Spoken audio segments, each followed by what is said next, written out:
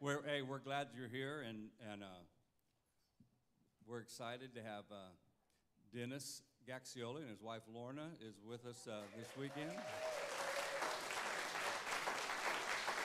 I don't know if you've seen some of our some of our uh, social media posts. Dennis is uh, uh, a dry bar comedy, clean comedy comedian. The, his dry bar comedy has over 150 million views. Uh, a lot of, so a lot of people have seen him. He's a uh, Air Force veteran and, and a pastor's son. And so, the reason, listen, the reason why we brought him is this, is that not only is he funny, but he has an anointing of God on his life. And so um, we're excited to have him come. He's going to be with us tomorrow in both services as well. And so I want you just to give a hand to Dennis Gaxiola as he comes.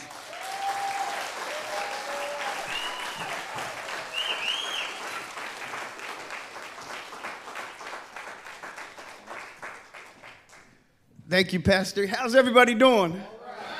It's, it's an honor to be here. Okay, he said I had to wear this, at least so you guys could see they, they gave me a lei, but okay, um, so I don't sneeze during my performance. It's beautiful, but it was itching me, and I'm like, okay, I can feel it. I can feel it.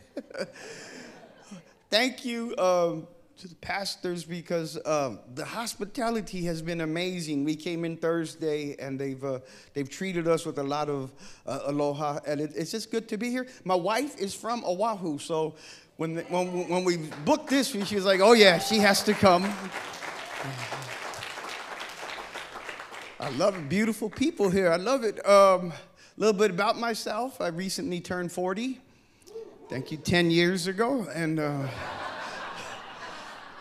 I wrote that joke eight years ago. Over 40, wave a hand. Don't pull a muscle. Over 40. Okay. Less than 40 is going to think this is. You raise your hand, bro? Row three. Did, did you raise your hand? No, you look good, but if you're not 40 yet, I want to hear your testimony because.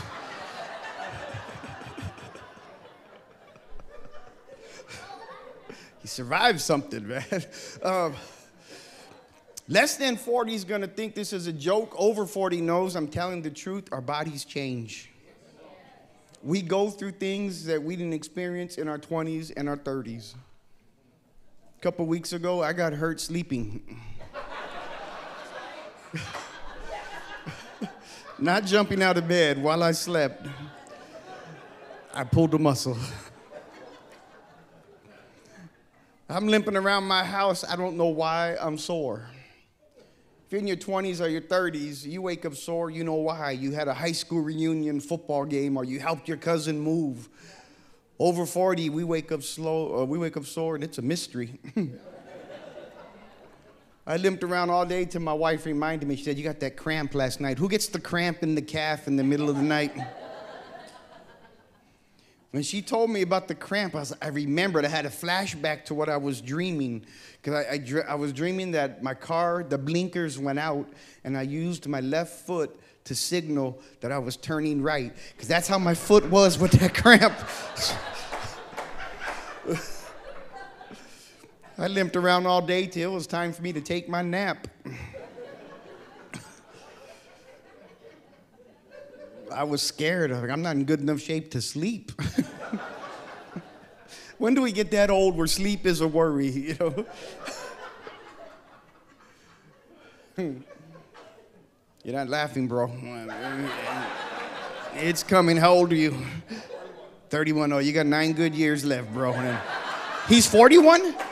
Oh, okay. You look you still look good. You're holding on, but just you're at the top of the roller coaster. You're right there. It's coming pretty soon. Mention my wife, uh, been married 27 years. Thank you. Uh, three wives, but 27 years. Uh, I'm good at it, man. Someone else has relationship problems in the back, okay? no, wife number three is wife number one. We got married as kids, divorced as kids, and look at God. 23 years later, we got back together. Yeah. Yeah, that's you can give the Lord a round of applause on that. Yeah. And I'm old school. Where are the men that actually drop to a knee when they propose? Where are the men? There's a few real men left. Pastor, you didn't drop to a knees? Dack him up. Just say yes for, for the congregation. we'll have an altar call a little while, bro. no, I dropped to a knee when I proposed and I looked up and said, Would you marry me? And she looked into my eyes and said, Why do you want to marry me again? And I looked deeper into her eyes and said, Because I miss half my stuff.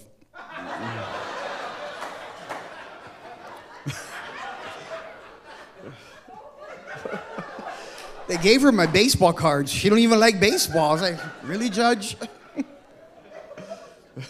we have two anniversaries now. All the men feel my pain on that. Here's a tip, ladies. If you want a good anniversary, remind your husband. A week out, go, hey, what are we doing next week? And then he'll you'll have a great anniversary. Don't remind him the day after. You forgot because you forgot too, okay? we have two and she wants to celebrate both of them. Pastor, you know there's a there's an anniversary gift chart. There's an anniversary. Most men know the big ones: 25, silver, 50th. Is that my wife? 50th is golden, but they have a chart to list every year, a, a, gift for every year. First year is paper, 50th is golden. They got it wrong from the get go. First year should be golden. You still like each other. you haven't gotten on each other's nerve yet. 50th should be paper. You make it that long, you just write a note. We made it. No man wrote that gift chart. That was not written by a man. If it was a man, it was an old school Mormon. Back in the day when they had multiple wives, they needed a gift chart.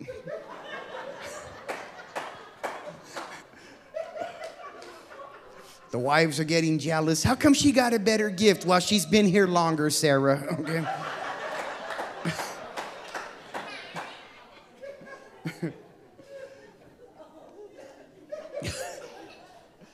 I got a Mormon mad at me the other day. I was, I was on the Huckabee show and I did that joke and uh, I got a nasty email. The lady took the time to look up my email and let me know that I had disrespected uh, her religion. She literally said, My religion, not her faith, not her relationship, her religion. And I was like, Well, don't knock on my door anymore.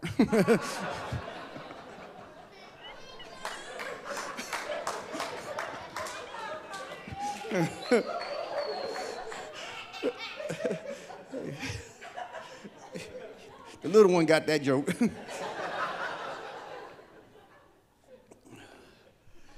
so we came to Hawaii and um, we did what was required. We went to Zippy's.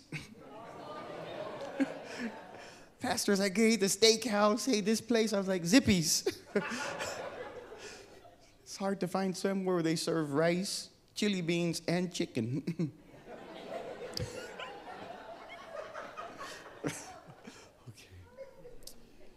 So we've been back together uh, five years. That's wool on the gift chart.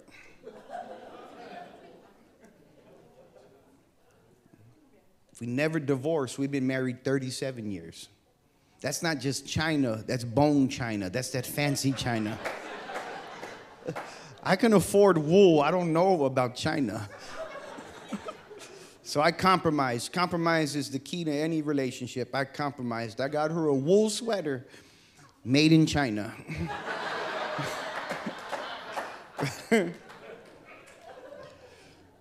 Ladies, we get it. You're smarter than us. Clap if you agree, man. Clap, Pastor, please. Bro, you didn't clap. I'm trying to help you right now, okay? No, ladies have instincts that we don't have, okay? So uh, all we ask ladies is let us win one argument a year. How many men would be happy to win one a year, you know? And don't let us win when you know we're wrong. Don't you know, don't let us be right when you know we're wrong. We're turning left, you know we should go right. You're like, go ahead, Columbus.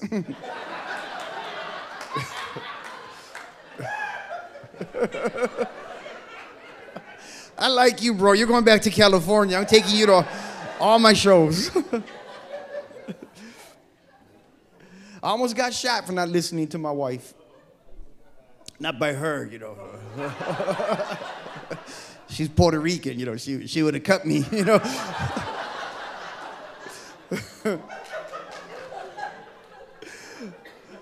I was doing prison ministry in California, and in the prisons in California, the two rules are your colors. You can't wear certain colors because of gangs. And above all, you cannot wear blue jeans. All inmates wear blue jeans in California prisons. I'm getting dressed early in the morning, barely any light in the room, and my wife looks at me and says, Why are you wearing blue jeans? I said, They're black. She said, They're blue. I said, They're black. She said, Go ahead. I show up at the prison, and the correctional officer looks me up and down and says, Can I help you? I said, Yes, ma'am. I'm here for the morning chapel. I'm the comedian. I'm going to speak to the inmates. She said, Oh, not today. You're wearing blue jeans. And in that light, I could see I had blue jeans on. This prison is five minutes from Costco. I got 30 minutes to go to Costco, buy a pair of black pants, change, come back to the prison, and process in. The parking lot is like four blocks away. I've got 30 minutes. So I take off running. Yeah, by the way, if you're leaving the prison and you're wearing blue jeans, do not run. And that's what I heard from the guard tower do not run. I assumed he was talking to somebody on the other side of the fence. You know, why is he yelling at me? So I kept running. And the next thing I heard was if you continue to run, we will be forced to shoot. And that'll stop anybody's. I stopped, I looked up and said, Me? He goes, Yes, you. In the blue jeans. You should listen to your wife. it's a good guard tower. I did Folsom Prison. I don't know if you know familiar with Folsom Prison. That's a high security prison in California. That's where Johnny Cash shot his, uh, recorded his famous album right there in Folsom Prison. And uh, I got, I went in. That was the first maximum security prison I went into, and it was a blessing to be able to go in. And I knew I had a lot of people praying for me, and prison fellowship. They had a bunch of people with me, and they told me treat the inmates with respect. They'll respect you. So I'm going in with confidence, a lot of people praying, and right when we signed in, 100% power outage in the full prison. They said, You can go in, the power should come on. So we had to go through two bays of cells to get to the yard, to walk all the way across the yard to the chapel. We go through the first bay, it's three tiers of cells, two men in each cell. And I'm walking in there like George Jefferson from the Jeffersons. I'm walking in with confidence. Hang in there, brother. Stay strong, brother. You know, I was like that because they were all locked up. I was safe. we get to the next bay, they hadn't secured the men yet. I went from George Jefferson to an 1800 Catholic monk. I was like, oh, the blood of.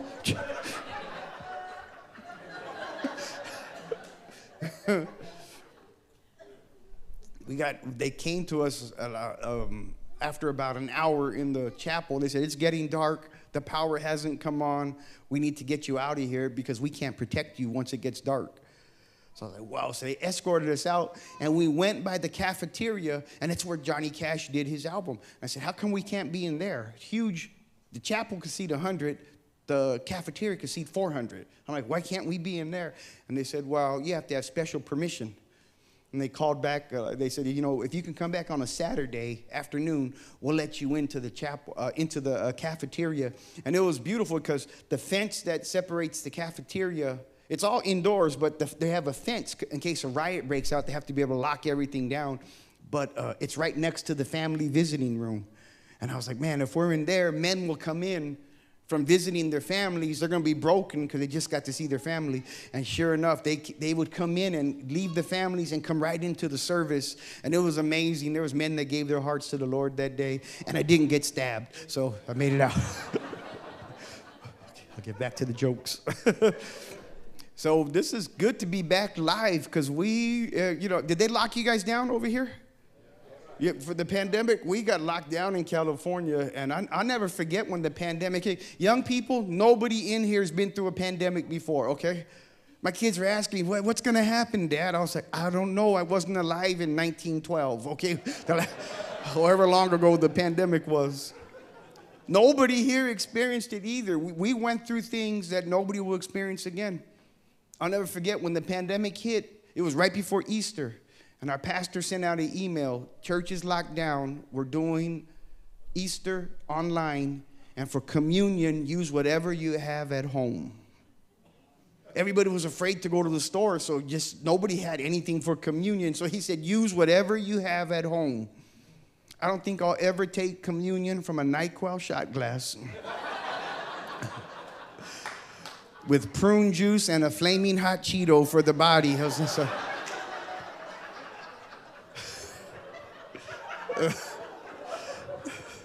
Too far, she left right there. She got up. She, Sister, you can't leave. That's 10% of the crowd. Where are you going?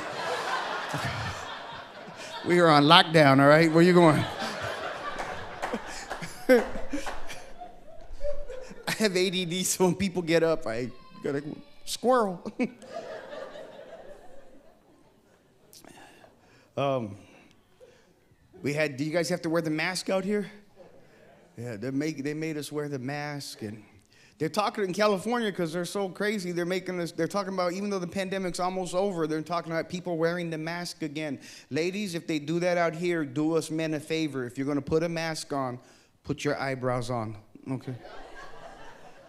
Early in the morning, you're going to Foodland and you got your mask on with no eyebrows. It's scary, okay? you look like a Muslim ninja. It's freaking every. It's, it's freaking everybody out, all right? So. I remember the first year of the pandemic, the week before Christmas, my son lost a tooth. And he said, Dad, will Santa and the tooth fairy show up the same week? I said, Son, you're 27.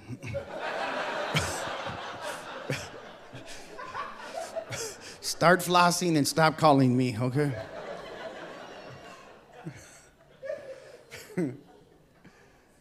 I love the beautiful mix of people here. That's what heaven's gonna look like. I go to a multicultural church in California, and I always tell people that if you're not comfortable in a multicultural church, don't worry about heaven. you're not going. if you're not comfortable worshiping with all your brothers and sisters, how are you going to be comfortable around the throne of God? We're all going to be there. All his children will be there, you know? Speaking Spanish, it's going to be beautiful. Come on, he named his son Jesus. That one's in the book, okay? He didn't name him Jeffrey. He didn't name him Jamil. He named him Jesus. There's a lot of Mexicans in the Bible, they don't teach this on Sunday.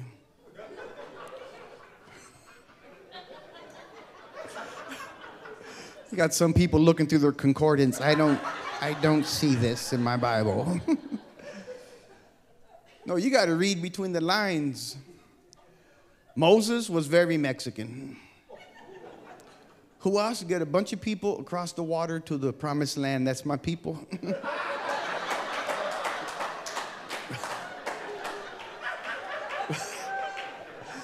We're not illegal, we are traditionalists. We've been doing this for thousands of years, okay?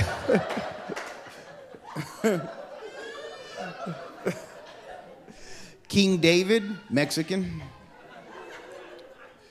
We got security coming in. Am I in danger? Did I cross the line? so These guys, they got all bright vests on. I was like, man, the fire department's here. Welcome back. Do I have to start over? Did you hear everything? King David, very Mexican. Only a five foot Mexican could look at a nine foot giant and go, I could take him.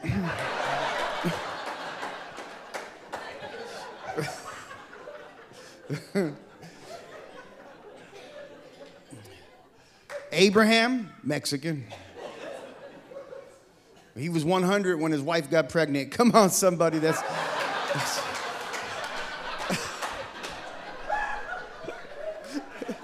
it's in the Bible, sister. I didn't make that up, okay?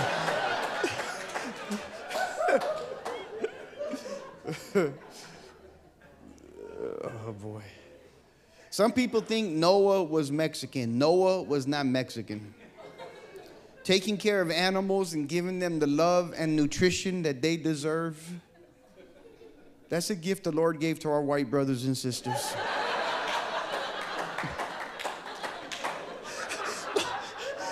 Pastors were telling us they had a chicken in their backyard. they caught it and took it downtown to a park to be with other chickens. I sat there and kept a straight face. I was like, that is the whitest thing I've ever heard.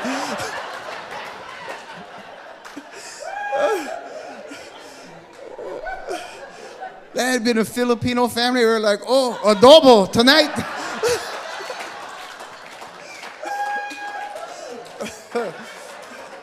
a bit of Hawaiian family. Oh, we're gonna raise him to fight.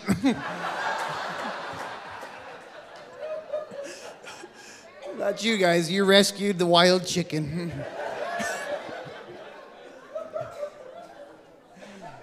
if Noah had been Mexican, that story would have ended tragically different. The flood is over, the ark opens up, and Noah steps off with some leather boots.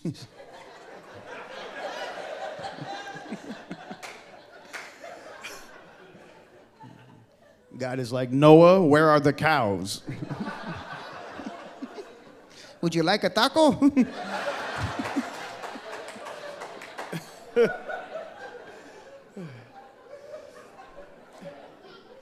The, la- last time I got to uh, come to Hawaii for comedy and, and ministry, uh, I was at a church and they had a lot of Micronesians. You guys have any Micronesians here? You are not a Micronesian. are you Micronesian? No. I, I learned how to speak Micronesian. You know how to say hi in, to a Micronesian? You give them a microwave.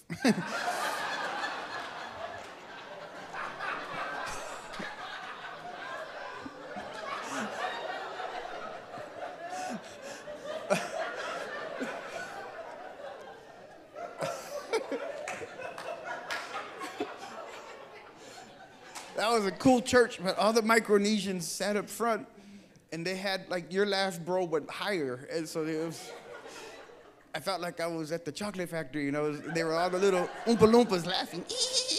you know? You're beautiful people. I, I felt so tall.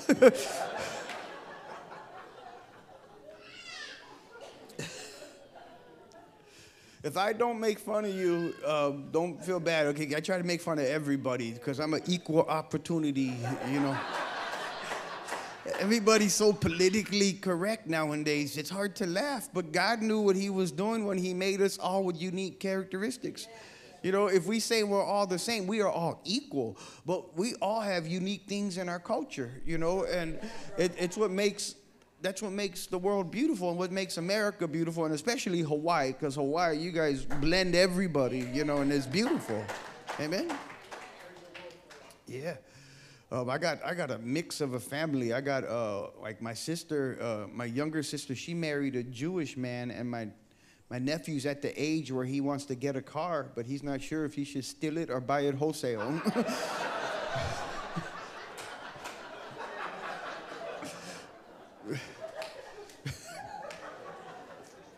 brother crossed his arms on that one. Sorry, bro. he crossed his arms like no shalom for you. I have kids at home. Who still has kids at home? Okay. Um, Well, first, first of all, my wife is happy because we, you know, we got remarried, and I had kids from uh, family number two, and so she's like, okay, it was it was smart because you have a blended family, my wife said two things for me when we got remarried. I need some of your time, and she said, I'm not a stepmom, I'm a mom, and I said, go for it, beat them. she don't beat them.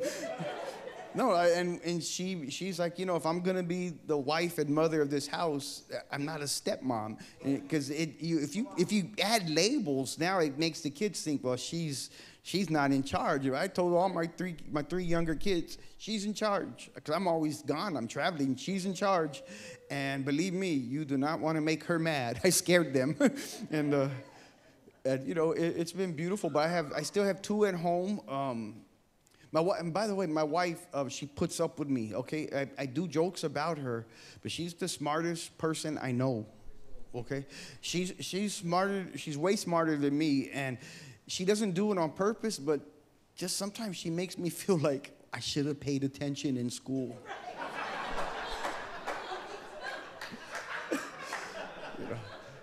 her and her sister, they, they have special words. They, they, their number one thing is Scrabble. My wife is Scrabble smart. She got words I don't know, and she uses them on me. you do that to him? Oh, okay. I was I, I, had dinner with you guys last night, and I was like, I was like, he's the smart one. No, I'm joking. I'm joking.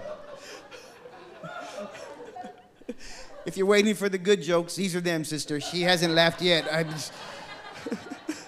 There's a spirit of slowness on this side of the room. We're going to. My wife is married to a comedian and she does not laugh out loud. There's no sound. She can smile and that's her laughter. And if she does laugh, it's you see her her shoulders shaking, but she will not laugh out loud. But one day, we're in bed early in the morning having coffee and she's doing her Bible study and she has a Christian book and she busts out laughing. And I'm, re- I'm like, really? You don't laugh at any of my jokes, but you're laughing during a Bible study. I said, What's so funny? I took it personal and she's laughing at this book and not at me. I said, What's so funny? She goes, The book, it has a typo. And instead of saying the scripture, Get behind me, Satan, the book said, Get behind me, Stan.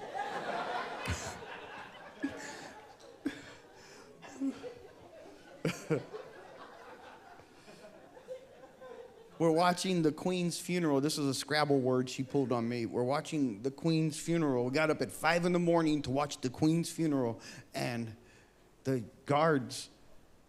Are we okay? That sounds like Noah. That is about. That's just regular rain right there, right? We're not. Cause I'm holding an electrical thing, and if lightning, you know. Bro, if I fall, that's not part of my act, okay?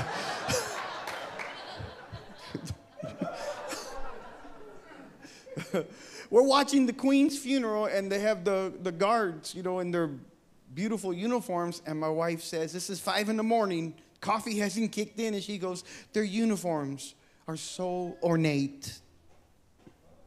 You know what ornate means? I know no one over here uses ornate, okay? I had to look it up so I didn't feel dumb. I'm oh, decorative. I was like, you know, yes, they are very ornate. we were traveling, I was traveling alone, and I needed our password to sign in to, uh, to, for the Wi Fi. Um, I had to I had to connect to our home cable system. It was weird, and I needed our password. So she gives me the password, and in the middle of our password there is the and sign, but she doesn't say and sign. Who said ampersand? Like four people know that. I didn't know that. But I didn't want to let, her, let her know that I didn't know. So I get off the phone and I put in the letters and numbers and then I spell ampersand with the rest of the numbers and it wouldn't work. So then I look up ampersand and I'm like, oh, it's the and sign. I was calling her, babe, the password's not working. She goes, You have to put ampersand. And I'm like, I spelled it right. It's not working. She goes, What do you mean you spelled it? It's just the and sign.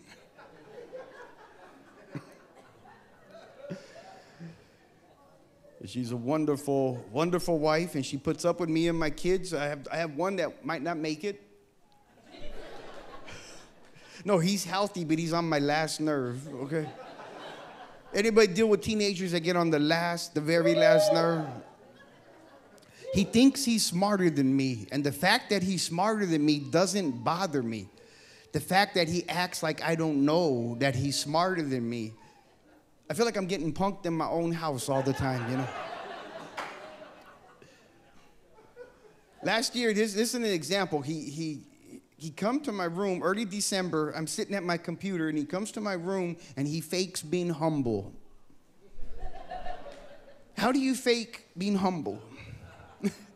he put his head down with a little piece of paper in his hand. He goes, Dad, this is all I want for Christmas. I know who I'm dealing with. And I take that little piece of paper and I was like, get behind me, Stan.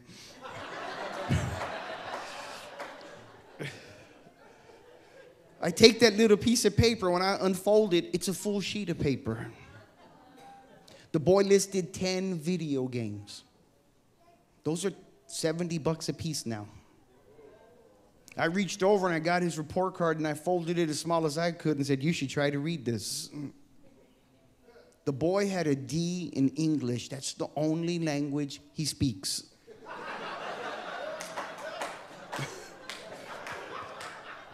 How did you almost flunk talking?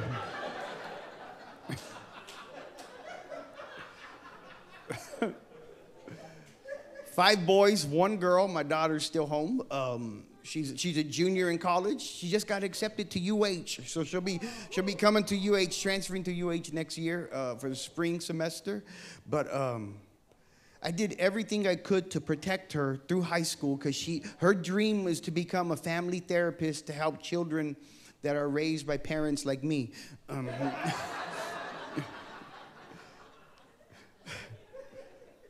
She, was, she did everything she needed to get scholarships. She was the commander of the ROTC, captain of the girls' wrestling team, varsity cheerleader as a sophomore. Not at a little school that needed anybody. No, it was a large school. She beat out juniors and seniors to make varsity. And the boys start coming around when she made cheerleader, and I didn't know how to handle it. What's the right age let a young lady date, Pastor? 35. That's a man of wisdom you guys have. My man in the back, what's the right age for a young lady date? He's quiet now, okay.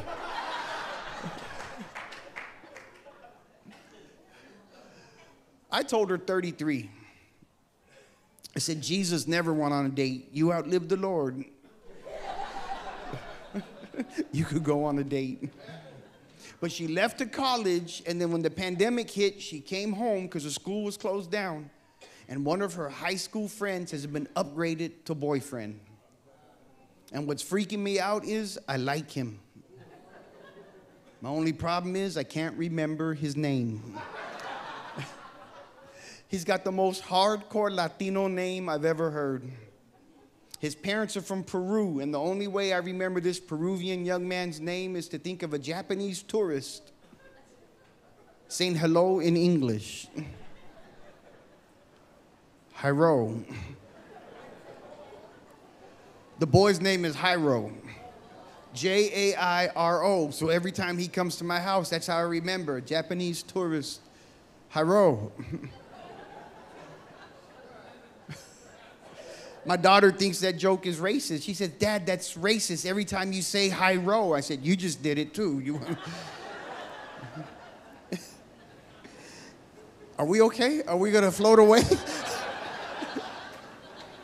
I just feel like doing the Gilligan theme right now. Just sit right back and we'll get.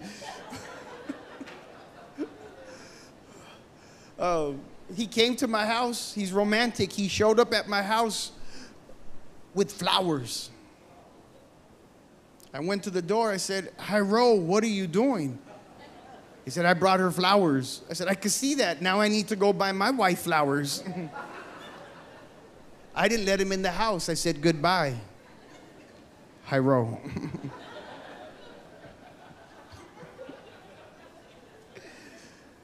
My daughter always says, You're going to get canceled, Dad. I said, By who? I didn't subscribe.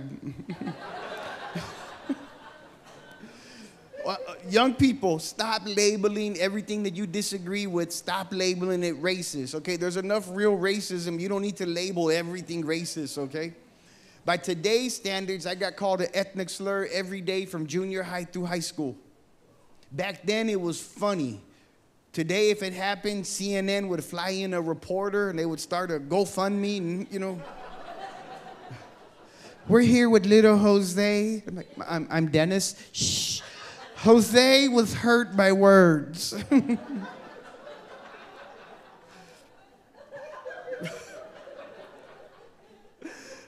You okay, sister? This is all I got. I got jokes, okay? She's, hold, she's holding her face.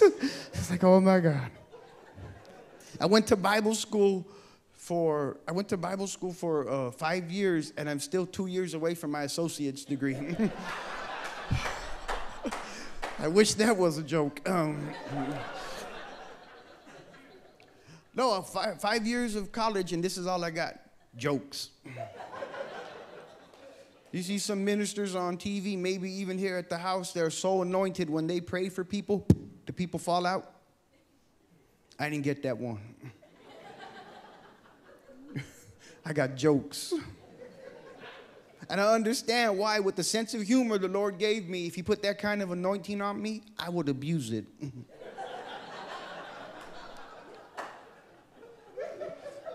Go to the movies and there's a big head person in front of me, I'd be like, in the name of Jesus. so I can see now. you needed that at the concert. I go to the post office during the holidays and there's a long line. I'm like, oh, we're about to have revival up in here.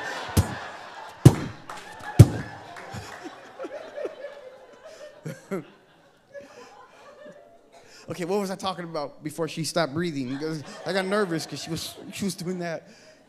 What was I talking about?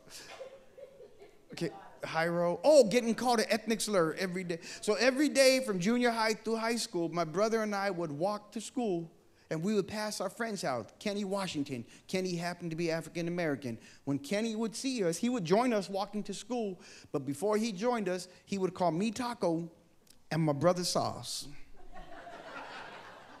that joke never got old to Kenny. What's up, Taco? What's up, Sauce? Taco Sauce. Ha ha! I didn't get offended. I didn't need a safe space or a comfort dog.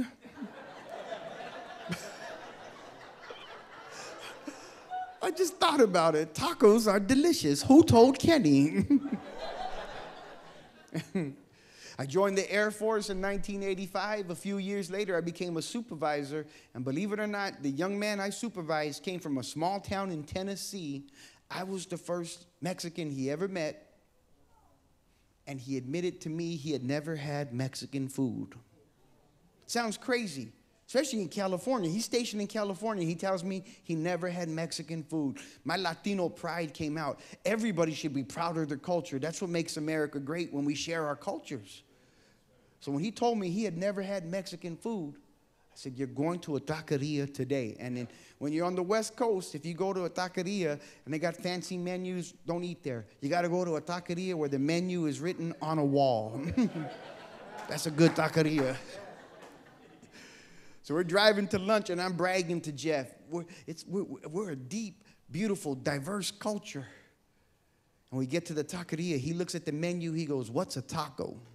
I was like, Are you serious? You never even had a taco? He goes, I never had any of this. I called CPS. I reported his parents. this boy is neglected. But I explained to him a taco is a tortilla filled with meat, with cheese, with lettuce, with salsa. That's a taco. He goes, Wow, what's an enchilada? I said, Oh, that's way different. That's a tortilla filled with meat and cheese and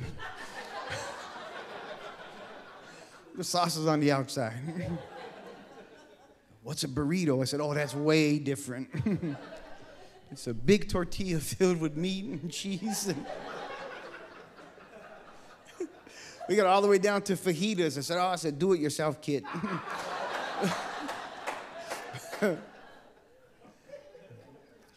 I get my political views from my grandfather, very wise old man from Torreon, Mexico. I went up to my grandpa one day and said, Grandpa, what do you think about a woman's right to choose? He said, Mijo, everyone should wear shoes.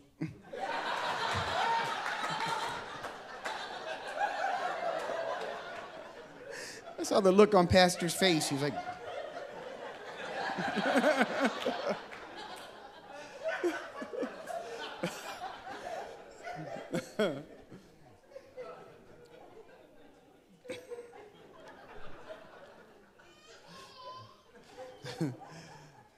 I love seeing the kids, a lot of young people. That means the house is healthy. I go to churches that have no young people, no children. I'm like, oh, this is a funeral home. They just have funerals for the elders and then eventually the church dies. When you got children in the church, don't worry when they cry. That means the church is healthy. Amen. We got a future. We have grandkids now. We have six kids, seven kids total, because we have the his and hers. We have our kids that from when we were married, and then we have the his and hers. We and so it's seven total, six boys, one girl. Um, or as she says, you have six, I have three. So, but um, but then we have six grandchildren now. The oldest and the youngest are the girls, and the four in the middle they're our grandsons. And I'm gonna keep it real with you, grandsons, because all my grandsons come from my sons grandsons who has grandchildren where the grandparents at? who has grandchildren with son uh, that have uh, from a son grandchildren from a son okay? See they'll never admit this in public but grandchildren from a son go a little higher in the christmas wish list than everybody else. They're heirs to the throne. They got the family name. Now my four grandchildren I, I'm, I'm blessed to be on the two largest comedy tours that have included Latino comics. The Latin Kings of Comedy tour. I'm on the 20th anniversary tour with some celebrity comedians. I'm, I'm not only on it, I'm producing it. So I, the Lord doubled down the blessing because I get paid for producing and for being on it. But then I'm on the Fluffy tour with Gabriel Iglesias when he wants a clean comedian. Gabriel, I've known Gabriel since he started out, so he uses me when he wants a clean comedian. And I travel the country in not only to churches, but to arenas and theaters full of Latinos. And I come home and I can't wait to see my four grandsons. And they're little, beautiful, freckle faced, blue eyed white boys. Their color's not important. They could be purple and I would love them just as much. My only issue is I can't take my own grandsons to the mall without an Amber Alert going off.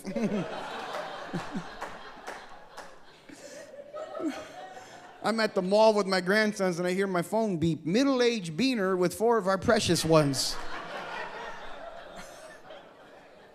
That's you, Papa. my daughter in law is a beautiful Irish Italian young lady, and uh, the two oldest grandsons, they're from, they're from her, my son, and uh, they don't believe in spankings. My son said, Well, they're white, they don't believe in spankings. And I said, No, I have white friends that got beat, okay? I said, She's the baby of their family. They have two daughters, and their father is the nicest man you will ever meet. I don't think he's ever killed a fly, much less spanked his daughters. So in that family, they don't believe in spankings. Six kids, not one ever threw a tantrum. I always taught my kids self respect, self control, and uh, respect your elders. So you see kids that, you know, I get it, there's kids with autism and stuff like that, but a kid that's throwing a fit at a store because he didn't let them get a candy bar, whack them. You know, that's all you gotta do. With love, so that they learn in life there's a yes and there's a no, you know? Okay, so I'm not gonna do the marriage conference here, but. But my son and daughter in law are over the house, and my oldest grandson is on the floor of the kitchen throwing a tantrum. because he can't have a cookie before dinner. So I look at my son and said, You need to handle this. He goes, They don't believe in spankings, Dad. And I said, Well, we do. Handle it. Well, we're doing it different. Couple days later, my son and daughter in law go away for the weekend and they leave the boys with us.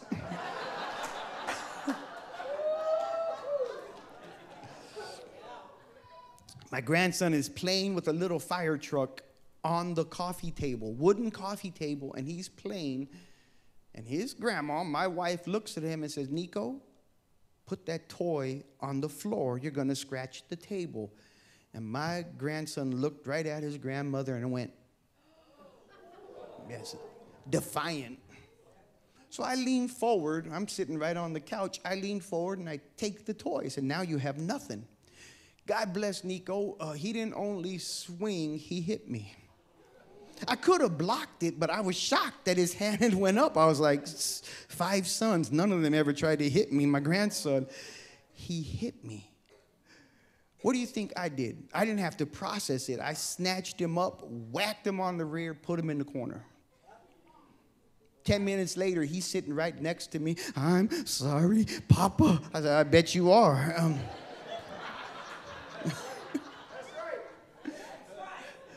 Little while later, I hear my son at the door. I ran to the door because you know, whoever snitches first, that's the one that gets away with it. And I couldn't let my, my grandson beat me to the door. So I said, Son, your son hit me. Please tell your wife what happened next. He goes, Oh, Nico got a whooping. And my daughter in law freaked out. You hit my son? I said, Yes. And you say one more word, you're next.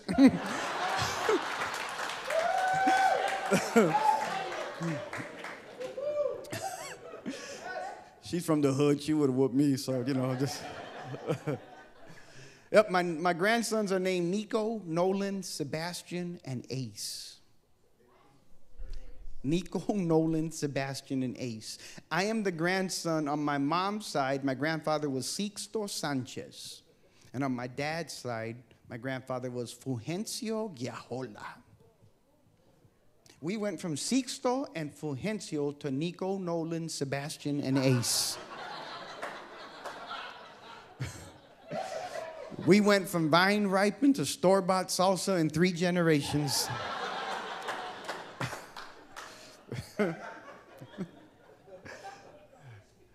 Grandsons are a blessing. Grandchildren are a blessing. My granddaughters are, there's, you know, they're the princesses. You know, my daughter, they, they give me a hard time. They say, you, you spoil your daughter. And I'm like, yeah, I have one. And my granddaughters, they're, so I have, I have four women in my life that count. You know, I have my wife, my daughter, and my two granddaughters. Those are the ones that God has blessed me with to protect. My grandsons, I got to raise them to be men so that they take care of theirs and get off my payroll, you know.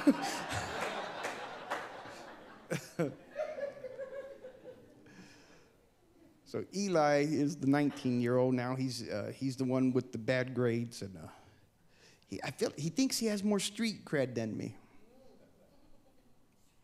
I grew up in Berkeley and Oakland, California. I'm a Desert Storm combat veteran. I've been shot at, not in Desert Storm, in, in Oakland, I've been shot at.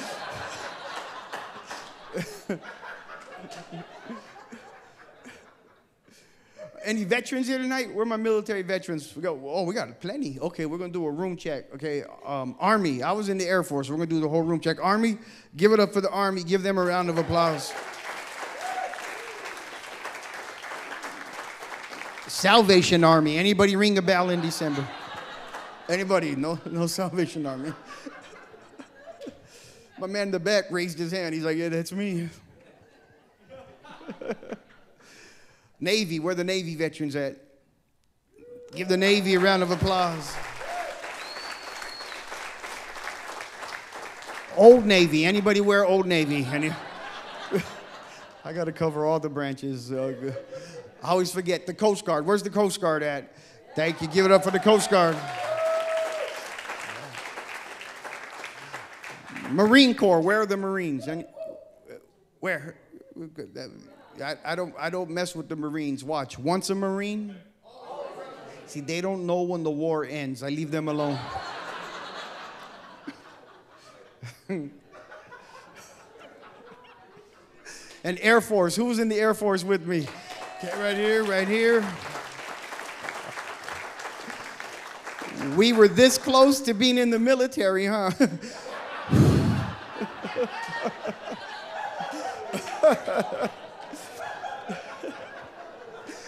you don't realize how tough you aren't till you get out of the Air Force and you go to the VA with all the other veterans. I never forget when I went to take my physical. I see a Marine limp by. He goes, Vietnam, took a bullet.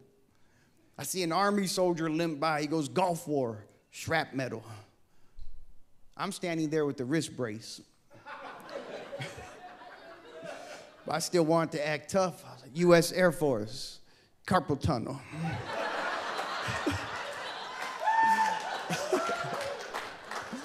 Email 05.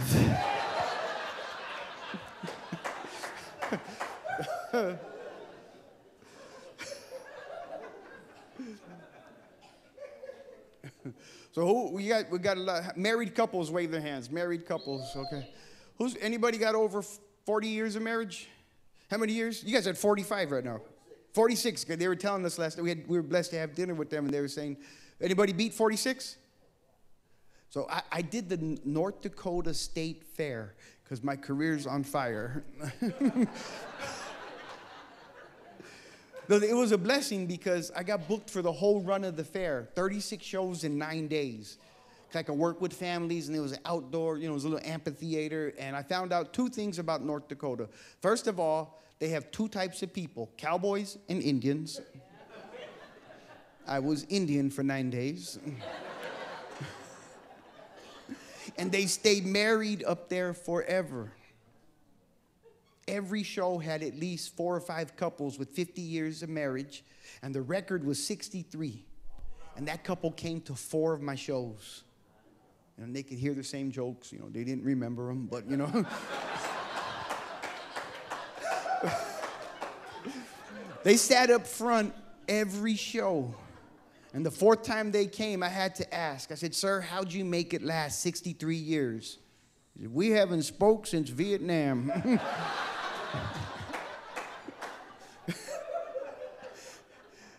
Ladies, how many of you believe that old myth that men don't communicate? Wave a hand if you believe that men don't communicate.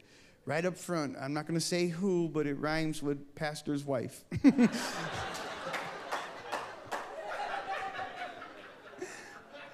I'm going to end that myth tonight. Ladies, we communicate, just not with you. and it's not our fault. we are conditioned to understand that if we say the wrong thing, it doesn't just ruin that moment, it ruins a whole period of time. I'll prove it to you. So I live in California. I live in the Bay Area. If you're familiar with California, I live, I live right across from San Francisco. I live about a half hour from San Francisco. Monterey, California, that's like golf mecca. Okay, that's I had a golf trip planned with my uncle and two cousins. This trip was planned for a month. I didn't let my wife know until early that morning when I snuck out of bed, washed up as quietly as I could. I put on my golf clothes and I kissed her on the forehead, said, Okay, I'm leaving now. She goes, oh, Where are you going? I said, Golfing. She goes, Oh, have fun. Where are you golfing today? I said, Monterey. Monterey happens to be one of her favorite places on earth. She goes, Wow, you're going to Monterey and you didn't tell me. I said, Yeah. Well, she goes, When'd you plan this? Now I'm like a little boy in trouble, you know. you know, I'm starting to pay. I said, uh, planned this a month ago. And that really woke her up. What? You planned this a month ago and you're barely letting me know now? I said, Why have you mad for a month?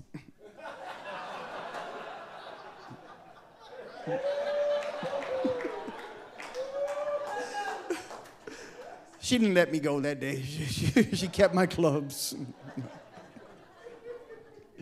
Ladies, never forget that man you're in love with is nothing but a big boy. Don't kill the boy in your man.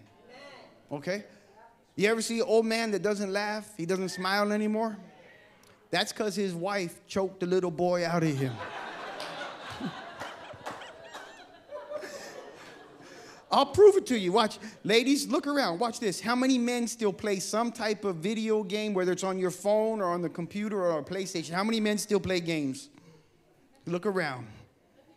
How many men still enjoy a bowl of cereal? What, late at night, like a nighttime bowl of cereal?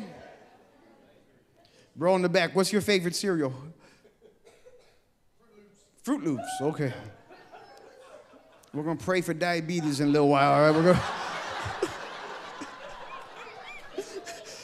Eating, he's eating Froot Loops at night and wonder why his legs are twitching. How come I can't sleep?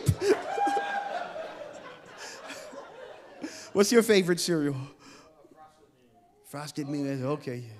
You don't want to be regular, you want to be constant, huh?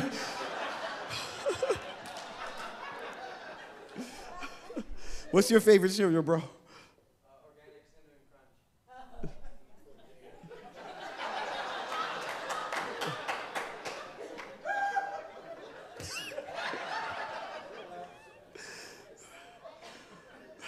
You come sit in the front row right over here by the. I'm putting you by the slow section. Pastor, what's your cereal? What's your go-to cereal? Frosted Flakes. Okay. My go-to cereal is life. I eat life almost every day that I'm home. I eat original life in the morning, and then when I want that bowl of cereal at night, cinnamon life. Add a little spice. And I eat life all the time because I'm always traveling. And if something happens to me while I'm traveling, I want everybody to be able to go, he was so full of life.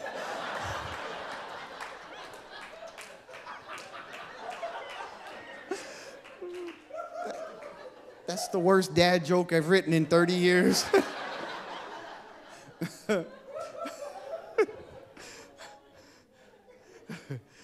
I got, can I share a new joke with you guys?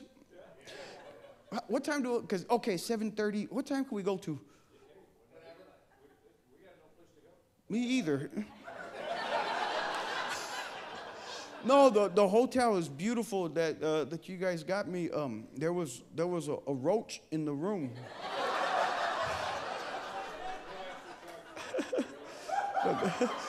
I, you know, I, have been to Hawaii plenty of times, and uh, I grew up poor, and we grew up with roaches. You know, so I, I, didn't, I didn't get scared. I grabbed it with a piece of tissue and I threw it in the toilet, and I flushed the toilet. A little while later, I came back into the bathroom. That toilet, that little roach was on the seat. he was like Hilo strong.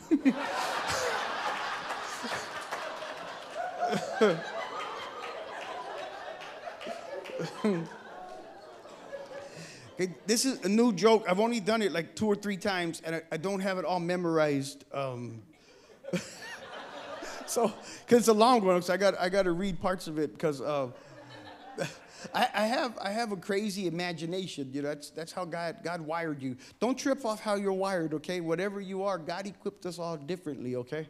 You know, if you're if you're a quiet type of person that likes just to, you know, to just to meditate and think that's that's how god programmed you if you know if you like going to the zoo and you like doing hyena impressions like our brother that's um, that's that's how the lord wired him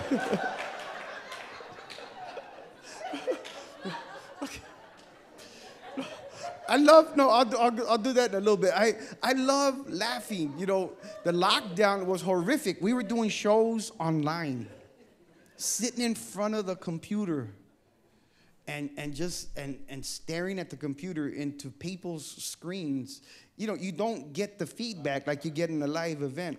But i developed some pet peeves um, while, while i was online. I, I, i'm too old to be on social media all the time but i have to do it because of my job.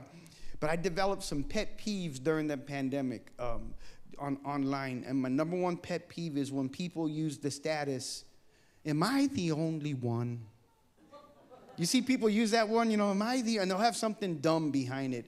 Am I the only one that thinks Maui's better than, you know, they'll have, they'll have compare it to something. If I'm the only one that thinks hot dogs are better than burritos, I don't care what you think. There are 8 billion people on earth now. You're not the only one, okay?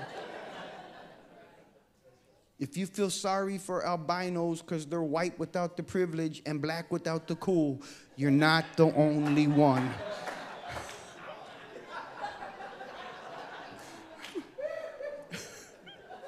if you think Chuck E. Cheese is a gateway to gambling problems, you're not the only one. if you got your family portraits at Chuck E. Cheese, you're not the only one. I put them in a frame from Dollar Store. I was so proud of those pictures. A buck 25 for that family portrait. If you notice that Barbara Bush and the Quaker Oat Man were never at the same party, you're not the only one. Okay, Google that. Look up Barbara Bush and the Quaker Oat If you thought an aphrodisiac was a hair care product, you're not the only one. Okay, I'll leave those alone.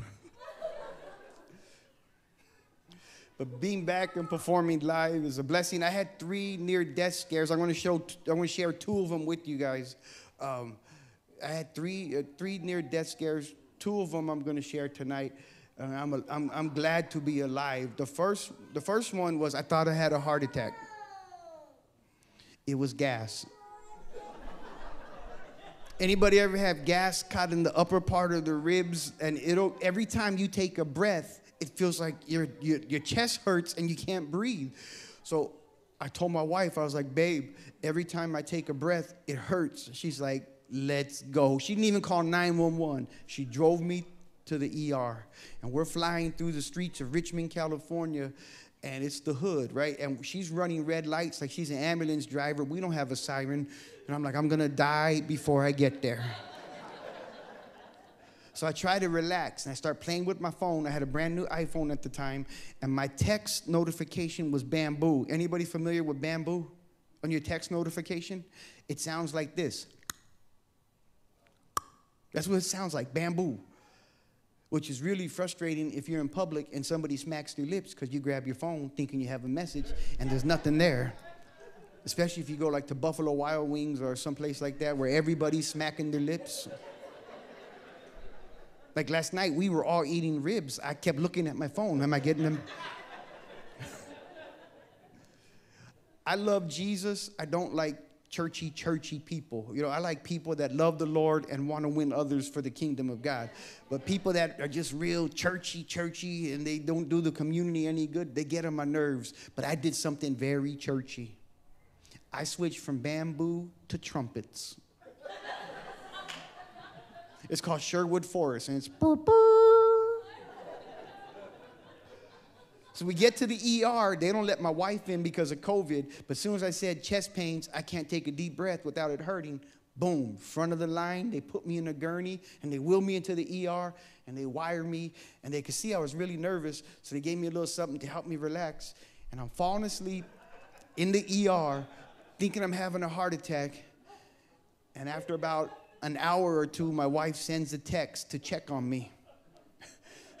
so I'm half asleep thinking I'm having a heart attack, and I hear burr, burr. I was like, oh no, I didn't make it. and I opened my eyes. There's two Filipino nurses there, and I said, Heaven is in Manila. Where my Filipino brothers and sisters at? Oh, ate, kumusta? I'm international. Filipino with the organic cereal. You're not real Filipino. Okay.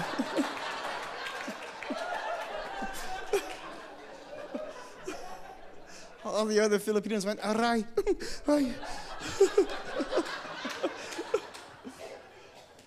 Uh, any, any Filipino brothers and sisters speak Tagalog? That's a beautiful language. Anybody speak Tagalog? It's, it's beautiful. A little bit, it's a mixture of uh, Spanish and, and chicken. It's a bit. Especially if you have a potluck and the brothers and sisters they want to share, they're very proud of their culture and they, they share the food. Oh, masarap adobo, bak, bak, bak.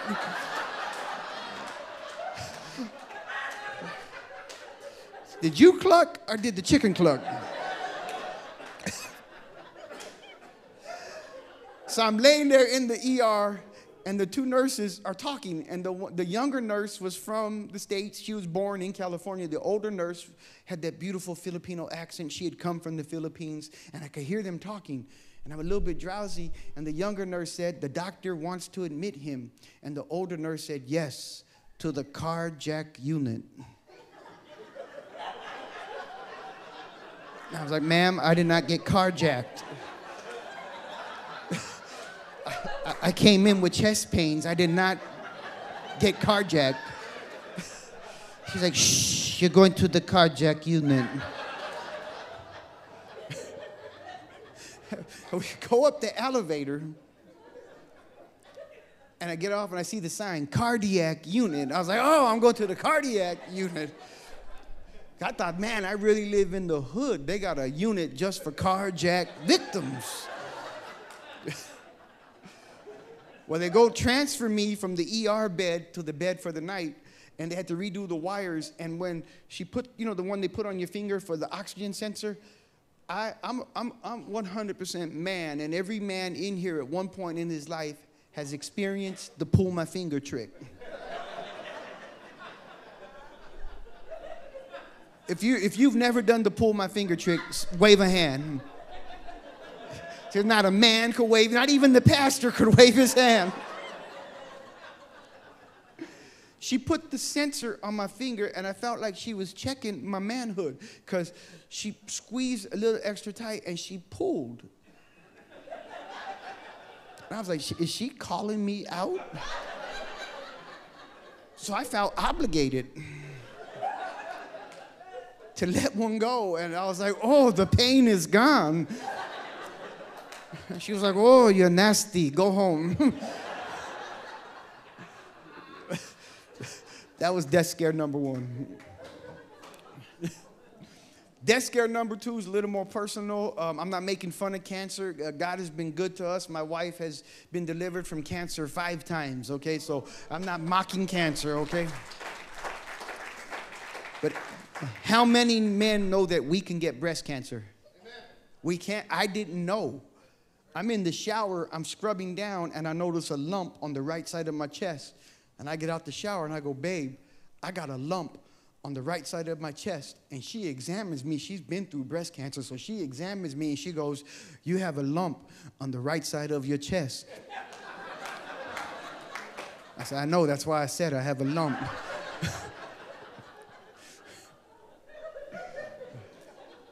you should call the doctor. So I, I have TRICARE, and they try to care. Um, that's for the veterans. the doctor gets me in the next day, and the doctor examines me, and he goes, You have a lump on the right side of your chest. I said, You talked to my wife, didn't you?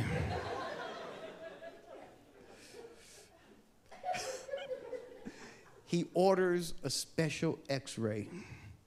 Now, if I lived to be 100, I would bet every dollar I ever made in my life that I would never go through this next ordeal. Because all of a sudden, I'm in the mammogram department. mammogram.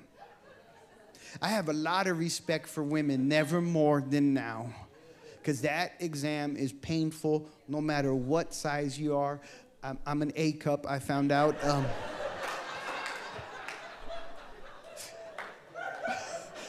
I always thought my personality was perky. I didn't know I was perky.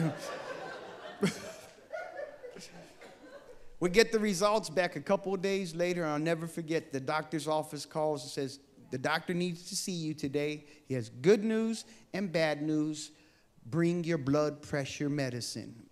And I'm thinking, man, the news is so bad. He's gonna make me take an extra blood pressure pill. so we get there. My wife and I are sitting there, and he goes, Good news and bad news. The good news, you're not developing breast cancer. The bad news, you're developing a breast. Singular, not even a pair, just one. Which really freaked out my wife because she has OCD and everything needs to match, you know. So I said, How at this point in my life if I'm developing one? He goes, Your blood pressure medicine. One in a million men will have a bad reaction and cause male breast growth. You're it. I said, my wife has my medicines. Give me the, give me the bottle. Give me, and I read the warning label. It says upset stomach, dizziness, headache. Nowhere on here does it say, and you might grow a chichi. That should be the first warning in my book. By the way, the best part of this true story is his treatment plan. He goes, So you can keep taking it. I don't know what school he graduated from that made him think bobblehead bedside manner was comforting, but at this point in my life, that was threatening. Hmm. I felt like he wanted to motorboat me just.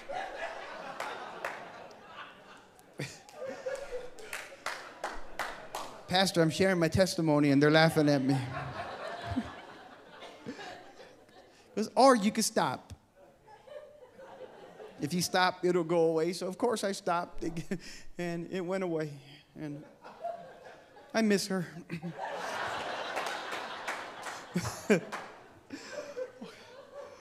okay, so this, this is my newest, my newest bit, and uh, I, am to try it on you guys because I think it's, I think it's funny.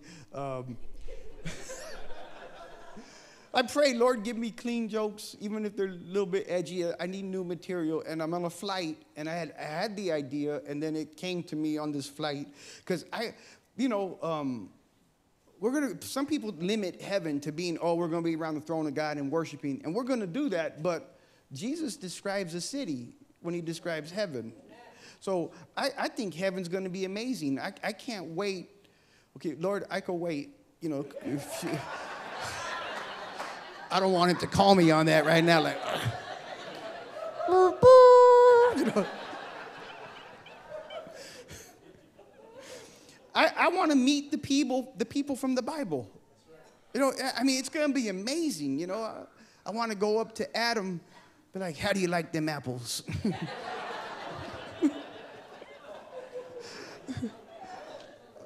I want to see Abel and shake his hand. You know, he's been dead the longest. You know.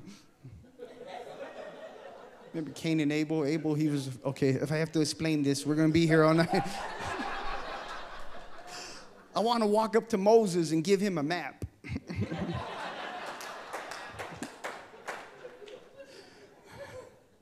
See Enoch and his wife is going, Where have you been? Enoch didn't die. Okay. I want to dance with David, you know. Uh, no, he was a great dance. You know, he danced, he worshiped, you know. I want at the wedding feast, I'm gonna ask Lot for some salt. Hey, can you pass the salt?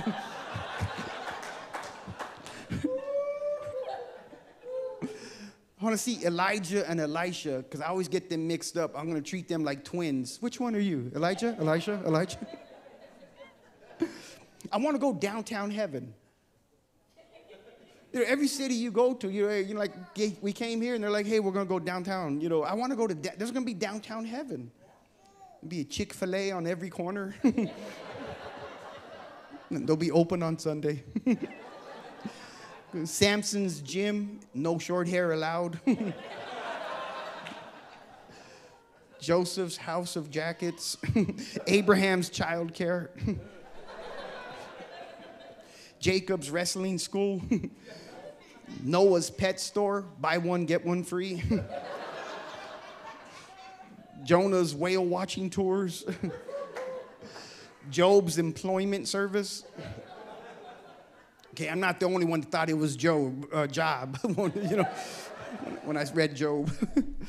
uh, let's see, I want to I wanna see TV on heaven. They're gonna have TV. You watch like the evening news. Noah's the weatherman. It's going to rain. I'll see my mom and dad and be like, surprise, made it.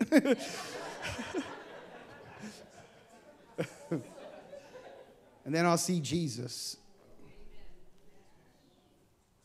And I'll do my best to say thank you because he's been so good to me. Um, I don't know about you, but he's blessed me in so many ways. He was patient with me. I was lost.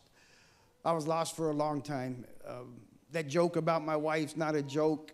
She was my, she was my Sunday school sweetheart. Little boy, little girl, and everybody knew we liked each other. And when we fell, it broke me. I don't know about you. Uh, sometimes a life moment will break you. And I was lost for a long time. But it was uh, 20 years ago, next month, is when my dad passed away. And my dad was my hero. He was a heroin addict that was saved in prison. High on heroin the last time he was arrested, because he was arrested from 11 to his early 20s, in and out of boys' camps, and then once he was 18 to prisons. And uh, the last time he got arrested, laying in a cell, high on heroin, because he had, and he had just sold to an undercover agent. This is 1950s, a Mexican in California selling drugs to an undercover agent. They throw away the key. But in the prison cell, my dad looked up and said, If you're real, change me. And he was instantly delivered from heroin addiction. No 12 step program, no withdrawals, instantly set free. And he went on to preach the gospel for 40 years. And when he, when he died, it broke me. Um, I was crushed because he was my hero. But six weeks after he died, my son, the one that gets on my nerves, um, I love him, but he's that, that boy's just. Dad doesn't know anything, and then when he messes up, oh, I'm sorry, Dad, you were right. you know, he's one of those kids. But he was born with his intestines outside of his body. And when they, they said we have to induce labor because his kidneys are failing, we knew he had a hernia. They said a hernia, but we go for a checkup and they went, we have to admit her um, we have to induce labor tonight. And I walked out of the hospital. I was raised Latin American Assemblies of God, so that means I got saved every other Sunday and most Thursdays. but I walked through the parking lot of Travis Air Force Base Hospital and I asked Jesus back into my heart. I said, I know I have not been living right for all the, I was, I was living an entertainer's life. Even though I was active duty, I was living an entertainer's life. And I asked him to forgive me. And but what I did first, I reached for my phone. Where any PKs here? We're the preacher's kids. You, you ever noticed that before you prayed, you called mom and dad? You, you ever done that before? I reached for my phone to call my dad, and that's when it hit me. My hero was gone. But that's when the Holy Spirit showed up, like perfect timing, and he said, It's time for you to be the man of your own house. He's not a deal maker, but he's a promise keeper. And I made a promise back to him. I said, Save my son, and I'll serve you the rest of my life. And the next morning, my son was born. His intestines were fully exposed. They clipped off his appendix because it was just in the way. They, he'll never have to have appendix surgery because um, they rushed him to Children's Hospital in Oakland, California. And by the time I got there, uh, my mom had met the ambulance on the dock my mom was old school Pentecostal. She believed in laying on of hands, and she was right there at the dock with some, but it wasn't anointing oil, it was, it was lard, it was manteca, but she, that's, that's all she had at home. She prayed, she prayed over that incubator. My cousin works at the hospital and he helped. So when they wheeled the baby out, she said, Hold up. She prayed. And then by the time I got there, the doctors came out and they said, It'll be three months that he's in the incubator. It'll be a month before he can even eat on his own. Because when you handle the human intestines, they shut down. And I'm, I'm sitting, I'm still active duty. How am I going to go an hour away from work every day? I don't have that much leave. That's all I'm thinking. But nobody knows you like your mom. And my mom looked at me and she said, Mijo, which is Spanish for my son, she said, Mijo, their medical book says three months our book says something different. One week later, my son was eating. One month later, he was home. He played football. He wrestled. He gets on my nerves, but he is 100% healthy. Um,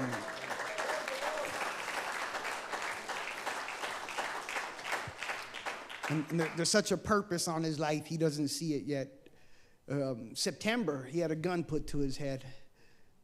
His neighbor set up, his neighbor set him up and said, Are you home? He's like, Yeah, I just got here. And a minute later, two thugs pulled up. They wanted to, they, he has, he lives in a trailer park with his mother, but he has a, a new Mustang. So they're like, They got money. So the kids come up to him and they start beating him, and he wouldn't get out of the car. And they, they broke his tooth, they busted up his, his lip. He had to get stitches. But he held on to his phone and he hit the emergency button on the phone. And when the kids saw that, they took off running. But then the kid with the gun came back to him, put the gun to his head, and pulled the trigger, and the gun backfired. And when he told me that, I said, Son, I fall asleep every night praying for you. Pray for your children. Don't give up on your children. And I know my son has a purpose because God spared his life. Nine millimeter guns don't backfire. This gun, the bullet cannot come out. But God has been so good to me. He, he, I never thought I would get my wife back. And when we had the opportunity to get back together, we eloped. People were surprised because we had nothing to do with each other for 23 years. And the opportunity came, and the key to us getting back together was forgiving each other. There was no infidelity, there was nothing like that. It was a matter of choosing to let the past go so we could have a future together. My, my big crime was I was married to the Air Force. He used to say that you're married to the Air Force. Men, take care of your wife. I, I can only speak to men. I don't know what it's like to be a woman. But men, if you're at work seven days a week, if you're at church seven days a week, if you stop dating that girl that you couldn't wait to take out, and now you're married and you don't give her any time, brother, you're out of line. Give your that's what she asked me for. I need some of your time. So we do our best to try to go out at least once a week. And guess what, guys? They don't want money. They don't want gifts. They want your time. Put your phone down, which I have a hard time with. Put your phone down and take them for a sandwich. And sit there and spend time with your wife. You would be amazed how happy she'll be. That, that's just that's just real facts. You looked at her when you saw her and went, that's the one. I wonder if she'll go out to lunch with me. I wonder if I could take her to a movie. And then you went out a couple of times and you fell in love, and then you forget to date her. You gotta date your treat your wife like your girlfriend. And if you treat your wife like your girlfriend, you'll never lose your wife. But more importantly, put God in the middle of your marriage. When when we're at church together, for at least one worship song, we hold hands. I don't know about you, but I've lost my love for uh, 23 years. It cost me. I never want to lose that again. So if you worship, God inhabits the praises of his people. You're inviting God into the middle of whatever situation. If God is in the middle of your marriage, the enemy cannot attack your marriage. So worship with your spouse, and you'll be surprised how the Lord blesses your marriage. I fell in love with Jesus 19 years ago, and I had a rough journey. Um, being raised in the church, the senior pastor was my grandfather. The Sunday school teacher, the director was my mom. My dad was an associate pastor, then later became the senior pastor. I grew up surrounded in religion, but it wasn't until I was broken that I fell in love with Jesus. And I, just to know that He loves me for who I am, He sees me better than I see myself, is so important because people get hurt. Religion will let you down. People get hurt in churches because they're looking at people instead of looking at God. God will never hurt you, God will never disappoint you. So fall in love with Jesus. Even if you go to church faithfully, I see people that go to church all the time and they don't have a relationship with Jesus, they have a relationship with religion. And you're going to get your heart broken if you do that. But if you fall in love with Him and your identity is in Him, Paul wrote that 170 times in Him, in Christ, in the Lord. That should tell you how important it is for us to have our identity in Christ. If you haven't your identity in Christ, your situations don't shift your relationship with God. You understand that? Ephesians, I'm going to read one scripture, then we can go home. It's 8 o'clock, which means it's 10 o'clock where I'm at. where are you going? Oh, oh, it's pastor's wife. I'm sorry. She's like, You're right. It's 8 o'clock. It's past my bedtime. I had a little bit of zealot in me when I went to when I went to Bible school. Because I would hear people say life scripture, and I was like, man, all the scriptures are good. What do you mean you got a life scripture?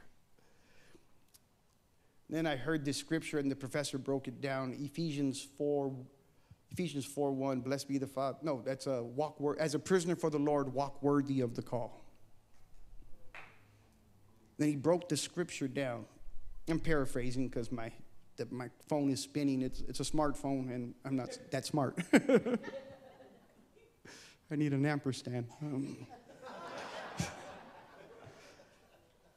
that word worthy in, in, the, in the translation that uses worthy, in the Greek, that word means weighted balance. So Paul is saying, as a prisoner of the Lord, as a child, you're, you're, you're a love prisoner, you're, you're in love with God. Walk worthy of the call. So he's saying, walk with balance. You're a child of God, which means you're royalty. Act like you're a child of God. And that's easy when the marriage is perfect. You got the promotion at work, all the kids are serving the Lord. When everything in your life is perfect, it's easy to walk with your head held high. But how about when the marriage is on the rocks? When the kids aren't serving the Lord? When you got laid off from work, when you're behind on your bills, when you have health issues, can you still walk with your head held high. That's, that's the balance Paul was, work, uh, was speaking of. So, in the middle of the storm, when you're going through it and you hold your head up high, people will see that and go, Look at that. She's got so many problems, yet she's able to worship God. He's going through hell right now, but he still is in love with Jesus. That's, that's the worthiness that Paul was speaking of. Walk worthy of the call. But you have to be willing to embrace your season and give it to God. This whole relationship with Jesus comes down to surrender. You can't hold on to your past and expect to step into your future. Whatever you're holding on to, that is who you are. I had a close relative. She went through a divorce in her mid 30s. Until she died in her mid 60s, she was a very hurt, broken person. Read her Bible every day. She could quote scripture after scripture better than most ministers. But she sat in that wheelchair, bitter, and even medical doctors told her, Your anger is crippling you. She was a woman whose husband left her, and she died a woman whose husband had left her. She didn't die as a princess going to heaven. I believe she's in heaven, but she did not live with her head held high so that others could see Christ shining through her. She lived as, as a victim. She never surrendered that deep hurt. Who's been hurt before? Who's made some bad decisions? I always got to raise two hands. But if that is what defines you, that is who you are. And you have to be willing to surrender your past so God can use you for His glory. We trade hurts for scars. You got to think about it. In my crazy imagination, I, I was sitting in my recliner one morning and I was like, man, this love story, because the Bible, if you read it as a love story, it's the most amazing love story ever written. And I'm going, man, Lord, you did such a great job writing this. Shakespeare could not write this. And then I went, man, but what would I do different? Foolishly, but respectfully. It's like, man, if I if I could have written something in the Bible or laid out this great love story, when Jesus goes to the cross, I would have had him jump off and go, You can't touch this.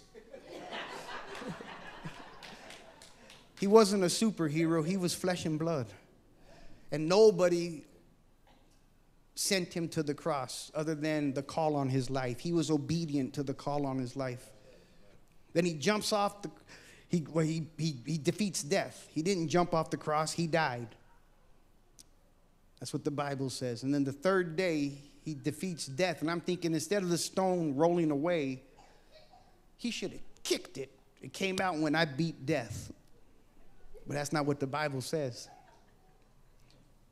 The first ones to see him, he said, Don't touch me. I have to go see my father.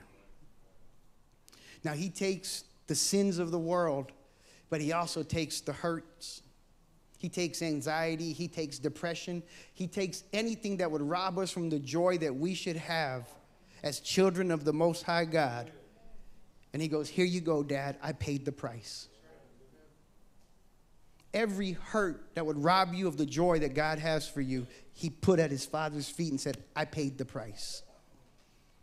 Now he appears before the disciples. I'm thinking he just saw his father. He should be perfect. He just saw the creator of the universe. He should appear perfect. That's not what the Bible says. He said, Go ahead, touch me. That's where they stabbed me. There's the nail scars. He traded the hurts of the world, the sins of the world, for scars. Why are you holding on to your hurts? Why are you letting something that He already bought rob you of the joy that God has for you? Let's all bow our heads. We're gonna. Wrap, I went way too long, but we're gonna wrap up here. Lord, we thank you for this night because your word says that laughter is good medicine. We thank you for an opportunity to come into the house, to your house, with our brothers and sisters. If you're here tonight with every head bowed, if you're here tonight and you have some areas of your life you want to surrender, just raise your hands right where you are. If you got some hurts, some disappointments, some bad blows, just raise your hands right where you are. Don't allow the enemy to have one more minute to rob you of the joy that he has for, that the Lord has for you. Okay, you can put your hands down. And more importantly, if you came to a comedy show and maybe you've strayed away from your relationship with God or you've never asked Jesus into your heart, Jesus is inviting you into a relationship. And if you want to get your relationship with God right tonight, just raise your hand. We would love to pray you into the kingdom. Right where you are, just raise your hand if you want a relationship with God. See, uh, uh, it's not the prayer, it's the act of faith. You said, Yes, I want a relationship. And the Bible says a celebration breaks out in heaven every time someone raises their hand and says, Yes, I want a relationship. Let's all stand. Father, you've seen the honest hands and the honest hearts. Tonight, Lord, we surrender these hurts. We surrender everything that would rob us in, from a relationship with you, Lord, from the joy that you have from us. We are no longer tied to the past. We step into your blessings, Father, by giving up these hurts and we surrender them tonight. We trade these hurts for scars, Lord, that we can use them for your glory. And we're going to say this prayer together. I saw a handful of hands go up. If you raised your hand, say this prayer and mean it in your heart, and your name is written in the book of life. Let's all say this together as corporately as a church. Dear Jesus, I want a relationship with you. I accept your invitation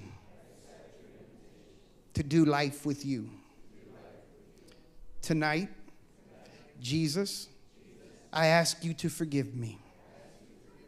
I ask you to give me a new start. I believe you are the Son of God. I believe you rose on the third day. And tonight, Jesus, I declare you Lord. I will follow you the rest of my life. In Jesus' name we pray. Amen and amen. Give the Lord a round of applause.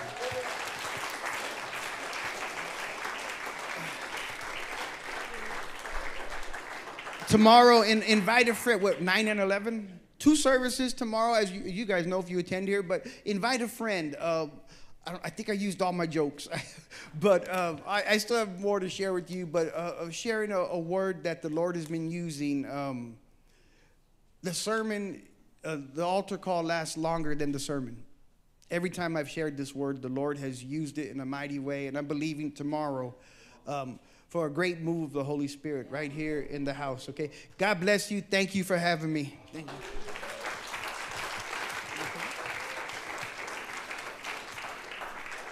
Amen.